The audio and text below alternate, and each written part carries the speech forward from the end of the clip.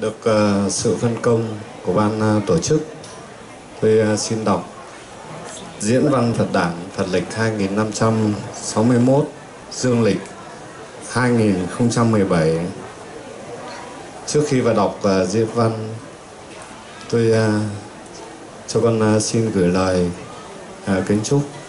tới uh, chư tôn đức tăng ly cùng uh, toàn thể quý vị đại biểu khách quý quý vị Phật tử lời chúc sức khỏe và đại hoan hỷ.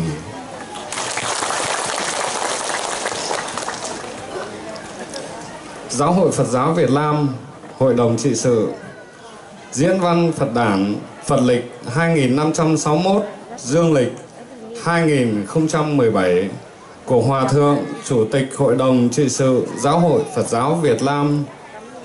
Nam Mô Bản Sư Thích Ca Mâu Ni Phật Kính bạch Chư Tôn Túc Hòa Thượng, Thượng Tọa,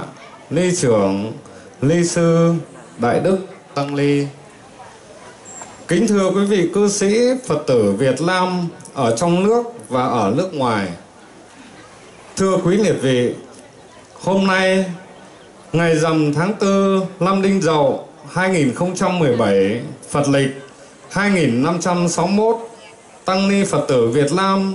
cùng với những người con Phật khắp nơi trên thế giới, hân hoan, thành kính, đón mừng kỷ niệm ngày Khánh Đản lần thứ 2641 của Đức Bổn Sư Thích Ca Mâu Ni. Chúng ta lắng lòng tưởng nhớ đến sự kiện hy hữu vì đại sự nhân duyên mà Đức Phật đã ra đời, đó là khai thị chúng sinh, ngộ nhập chi kiến Phật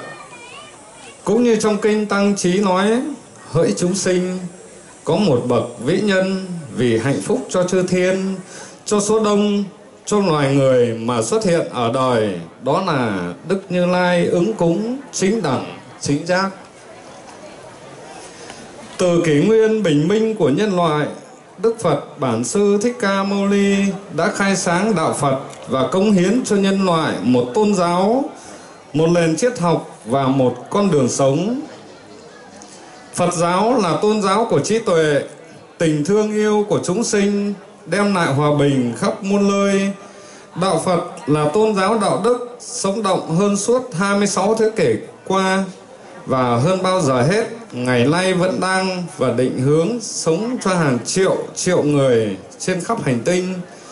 Đạo Phật là triết học biện chứng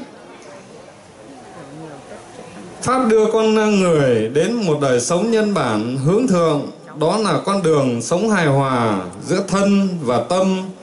an lạc, hạnh phúc qua thực hành, giới, định, tuệ, theo con đường trung đạo.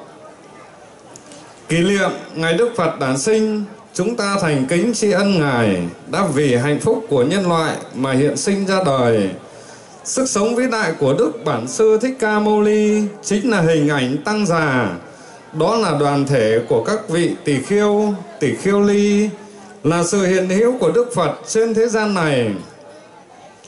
Phật Pháp trường tồn là sự là nhờ sự hiện hữu của tăng già, nhờ vào sức mạnh của trí tuệ và giới luật. Vì thế hệ này đến thế hệ khác, kính mừng ngày Đức Phật đản sinh, mỗi chúng ta phải tự ý thức vai trò, sứ mạng của mỗi tỷ khiêu trong việc giữ gìn sự hòa hợp thanh tịnh của tăng già. Đó chính là đó hoa tâm thành kính dâng lên đức bản sư thích ca mâu ni trong ngày lễ vê sắc trọng đại này.